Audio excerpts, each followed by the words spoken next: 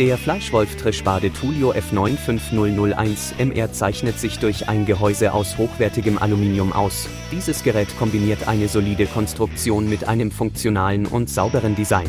Ausgestattet mit einem 750 Watt Einphaseninduktionsmotor, entsprechend 1 PS, bietet es optimale Leistung und schnelles, gleichmäßiges Mahlen.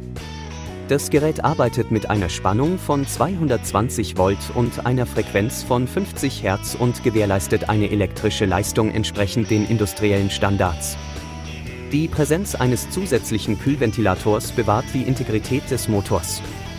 Seine Haltbarkeit wird weiter durch das Ölbadgetriebe mit geschmiedeten und gehärteten Zahnrädern erhöht. Das kompakte Gehäuse hat ein Gewicht von 19 kg und seine Abmessungen von 39 x 40 x 34 cm machen die Maschine handlich und leicht in engen Räumen positionierbar.